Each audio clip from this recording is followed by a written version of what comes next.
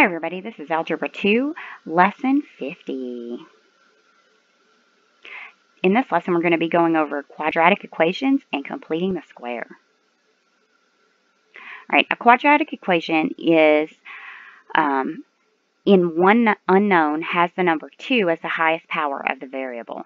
So for it to be a quadratic equation, we've got one variable, so 1x, that's our one unknown, is x and 2 is the highest power of the variable. So the highest exponent we have in here is 2. So this one is a quadratic equation. This one's also a quadratic equation, and so is that, because our variable is 2, and we only have one, one variable, x. And the highest exponent on x is 2. We've solved these before um, by factoring. So on this one, we would say something times itself makes negative 2. And then when we add them together, we get 1. So we would have x at the beginning of both of these. And then we would say um, 2, let's see. Mm -hmm.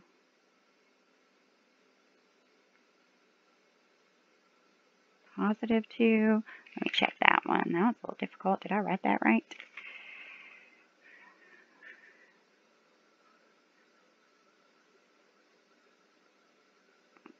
Uh, okay, so we would have to have 2 times 1. And let's see, 2 times 1 is 2. 2 minus 1, so that would be our, our positive would be 2, our negative would be there. And then we set those equal to 0. All right, so then we would have uh, x plus 2 equals 0, minus 2 minus 2, x equals negative 2. And then we would have x minus 1 equals 0, plus 1, plus 1. And we would have x equals 1. So those are the two answers for that kind. Then we've also learned how to do it by taking the square root. So we do the square root of that and the square root of that. And so we would say x minus 2 equals the square root of 3. And then we would add 2 to both sides. And we would say x equals uh, 2 plus or minus. Now don't forget you got to do plus or minus when you do these because it could be either the square root of 3. Alright, so we're going to figure out another method for solving these called completing the square. Alright, so some of them we can't solve the other way. We can't factor this one, and we can't take the square root of it. So this, this equation right here can't be factored like we normally would. Um, we don't have anything that when we multiply we get negative 2 and then we add them up we get positive 4. It's not going to work. Um, the only things we can get is 1 times 2 and 1 and 2 is 3 so that's not going to work. Um, but we can convert it into this form. So we can, can, we can change any equation to look like that form. And to do that, um, we're going to have to look at some patterns. So to complete the square, it's necessary to remember the form of a trinomial that is the square of some binomials. So if we have x plus 2, when we square that, x plus 2 squared, we're going to get x squared plus 4x plus 4. Okay. On x minus 5, we get x squared minus 10x plus 25. Now, you're going to start to see a pattern. So on this one, um, if we add the 2's together, we get 4. If we multiply the 2's, we get 4. If we add the 5's, we get 10. If we multiply the 5's, we get 25. Remember, that's what that was the pattern. We add 6 and 6, we get 12. We multiply 6 times 6, we get 36. Add 8 plus 8, we get 16. If we multiply 8 times 8, we get 64. So what we're going to do is we're going to go backwards. And we're going to look at this backwards. So if we take this middle term and we divide it by 2, and then we square that. So we say 4 over 2 times 4 over 2. We're going to get 4 times 4 is 16. 2 times 2 is 4. 16 divided by 4 is going to be 4. Okay, we're going to try that with this one. So we're going to say 10 divided by 2 squared. So 10 over 2 times 10 over 2 equals 10 times 10 is 100. 2 times 2 is 4. We're going to get 25, and that brings us back to our third term. Um, for this one, we would say 12 divided by 2 squared, and we could go ahead and do that. We would say 6. 6 times 6 is 36. Okay, there's our answer. All right, so we take our middle term, and we divide it by 2, that'll be 8, and then we square it. 8 times 8 is 64.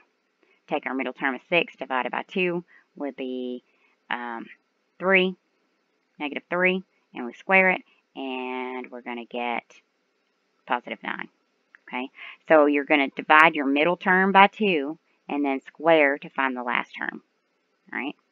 This pattern occurs every time we square a binomial. This pattern is key to completing the square. So you're going to take your middle term, divide it by 2, and then square it.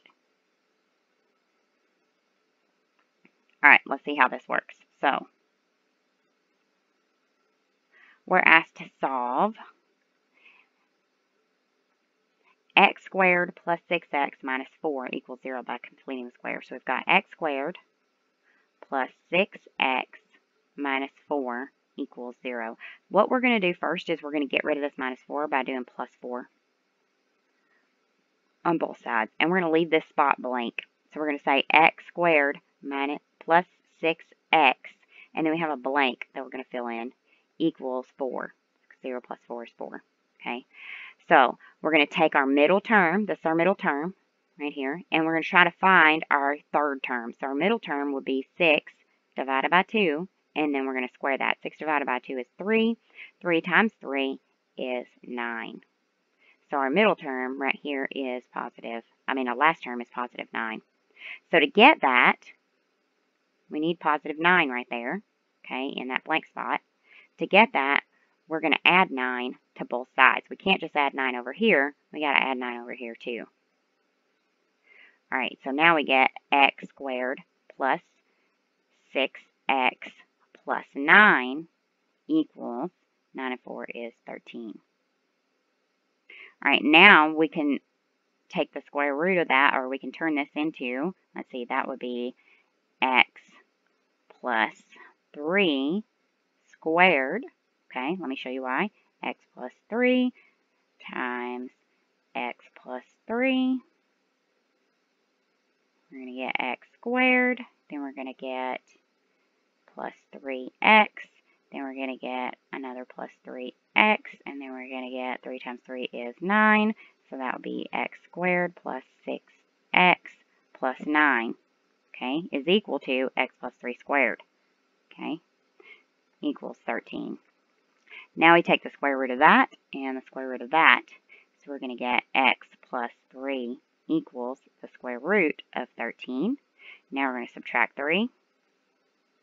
And we're going to get x equals negative 3 plus or minus the square root of 13.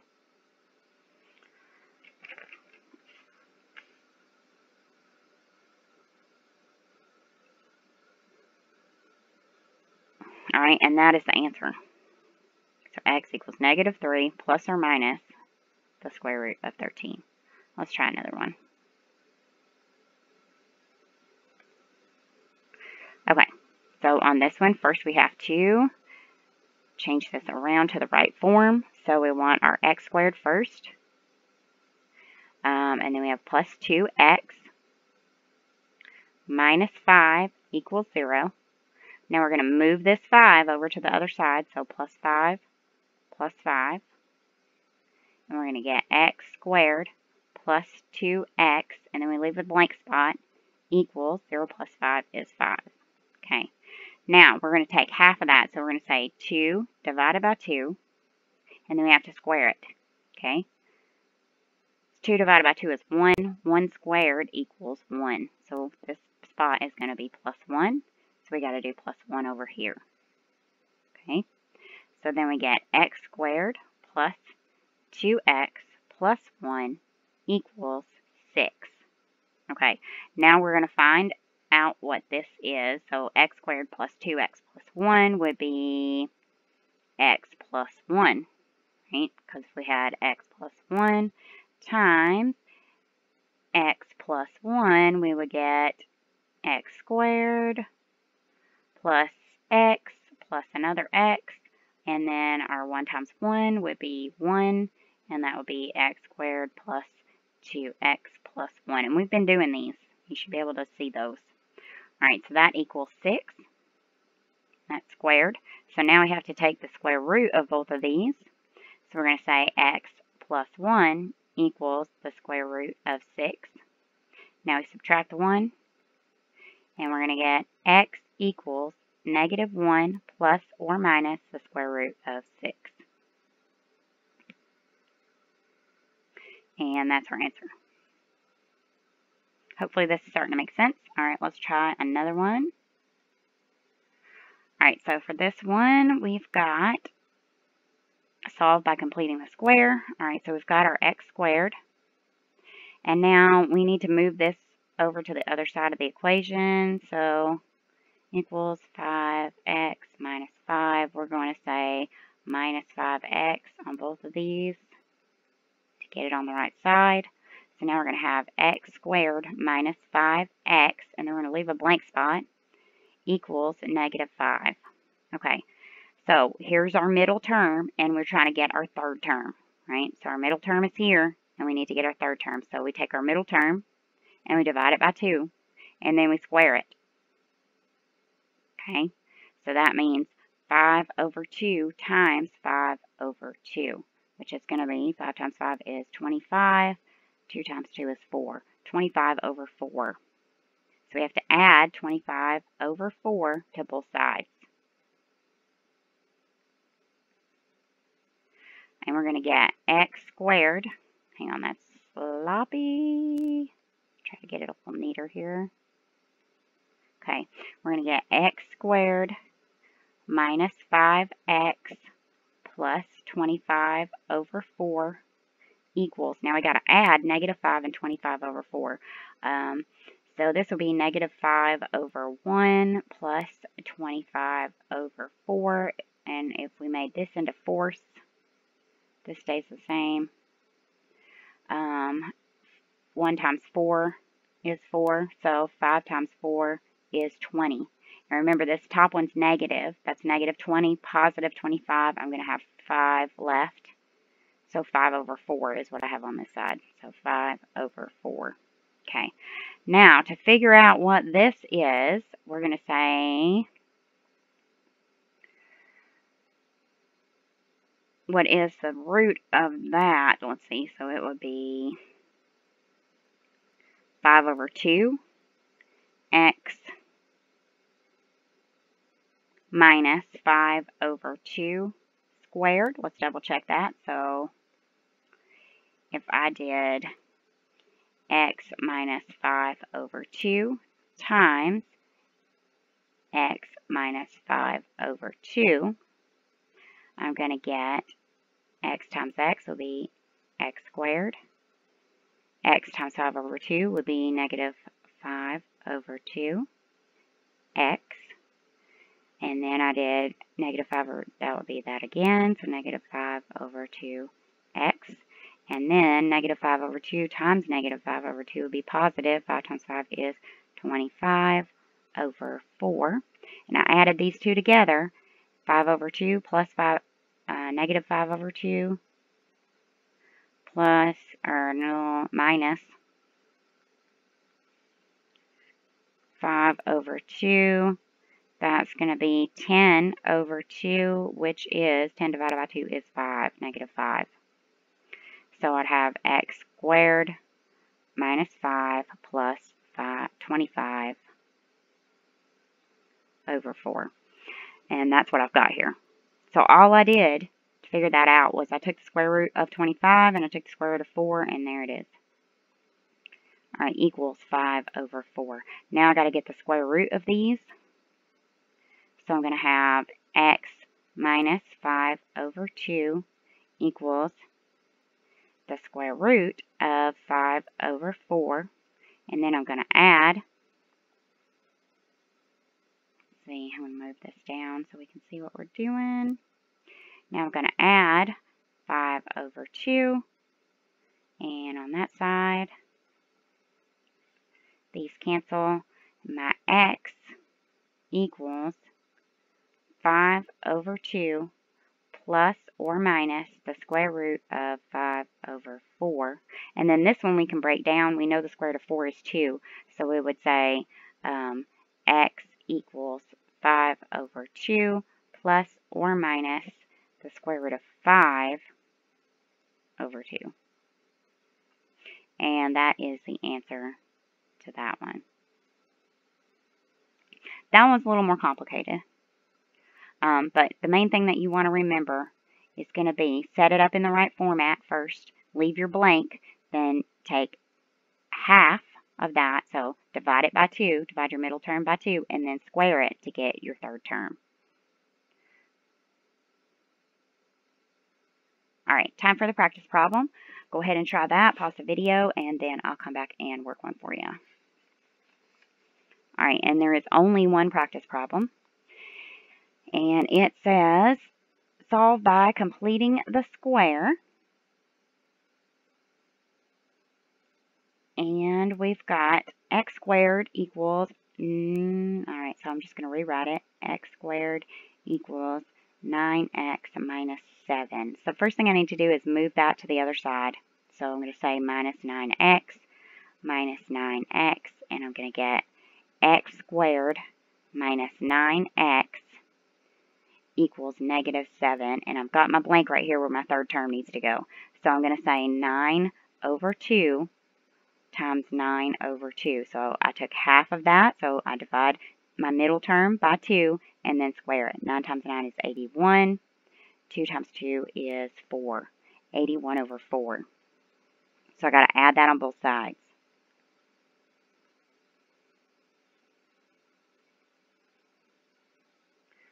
Alright, so I get x squared minus 9x plus 81 over 4 equals, okay, so now I need 7 plus 81 over 4. So I'm going to say 7 over 1, and that's negative 7 over 1, um, plus 81 over 4.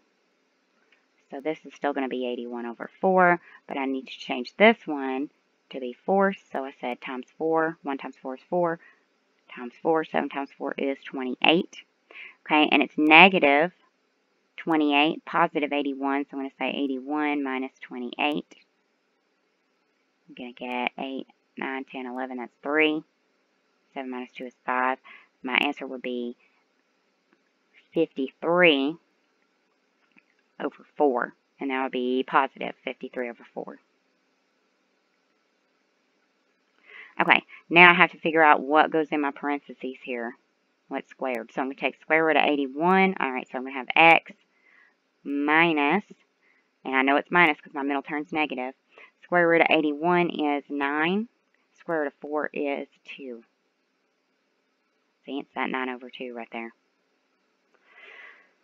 All right, so if, and to make sure, I can double check that, and I can say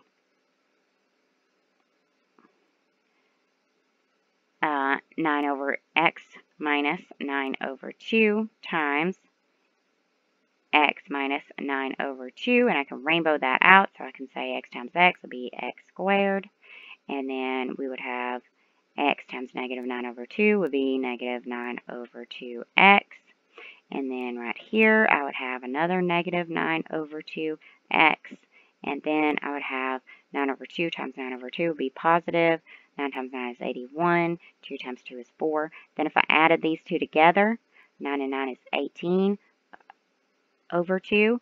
And that just equals negative 9. Okay, so I'd have x squared minus 9x plus 81 over 4. And that's what I've got right there. All right, so that is going to be equal to 53 over 4. Now I'm going to square root it okay? And I'm going to get x minus 9 over 2 equals the square root of 53 over, I, I know the square root of 4 is 2, okay? So now I just have to add 9 over 2 to both sides. Need some more room here. And I'm going to get x equals 9 over 2 plus or minus the square root of 53, 53, 53 over 2. And let me double check that in the back and make sure that is right. Because sometimes I'll work it wrong, and then I have to make a whole new video. Alright, 50 9 over 2 plus or minus the square root of 53 over 2. So that is the correct answer for that one. Alright, so that is how to solve quadratic equations by completing the square.